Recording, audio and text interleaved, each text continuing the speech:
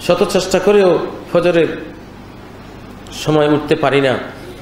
রাতে সংকল্প করি ফজরের সময় উঠব, কিন্তু উঠতে পারি না। এখন কি করব। আমি বুঝি না, এই আধুনিক যুগে যেখানে আপনার মোবাইলে অ্যালার্ম আছে, ঘড়িতে অ্যালার্ম আছে, আইপ্যাডে আছে, কম্পিউটারে আছে, আপনি সাউন্ড কানের কাছে কান ফাটা আওয়াজ দিয়ে আপনি ইয়ে করতে পারেন। কেমন? এই- যুগে এই প্রশ্নটা কে করেছেন জানি না। উনি কি আধুনিক যুগের মানুষ না? হ্যাঁ একশো একশো বছর আগের মানুষ? এখনকার যুগে এই ওজোর চলে না। ফজরের জামাত পাইলে ঘুম থেকে না জাগার কারণে এইটা ওজোর এই যুগে চলে না। আপনি, আপনার উপরে যেই যুগে আল্লাহ তালা যে নিয়ামত দিয়েছেন, সেই নিয়ামত ব্যবহার করে আপনি আপনার আখেরাতের কাজগুলি সাজিয়ে নেবেন। এটা আপনার কর্তব্য। আর রাত বারোটা একটা ঘুমাবেন না। নয়টার দিকে ঘুমিয়ে পড়বেন, দশটার মধ্যে ঘুমিয়ে পড়বেন। নবী সাল্লা সাল্লামের সারা জিন্দগির শূন্য ছিল নয়টা, দশটার মধ্যে ঘুমিয়ে পড়া।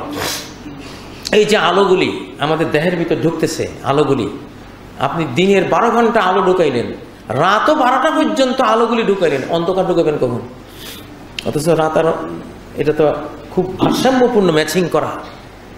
এই জন্য নবী সাল্লা সাল্লাম রাত সাড়ে আটটা, নয়টায় ঘুমাই পড়তেন একেবারে ফজর পর্যন্ত অন্ধকারে থাকতেন।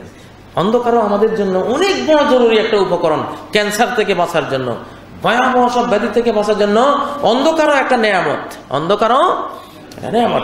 আট, নয় ঘণ্টা অন্ধকারে না থাকলে আপনার আপনার ব্লাড প্রেশার আপনার ক্যান্সার আপনার এই যে হজমে গন্ডগোল ব্রেনের সমস্যা, বিভিন্ন সমস্যা দেখা দেয়।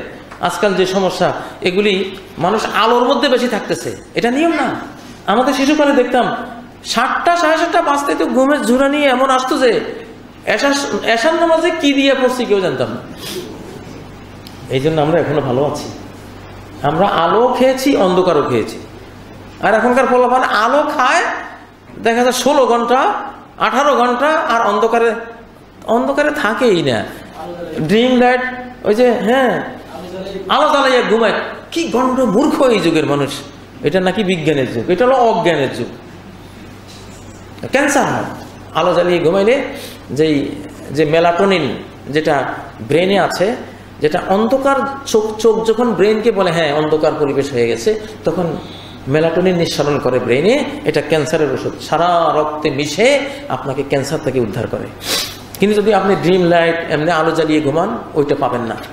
ওটা নিঃসরণ হবে না। ক্যান্সার হয়ে যাবে আপনার। ক্যান্সার হওয়ার জন্য বড় দায়ী হলো এই জিনিসটা।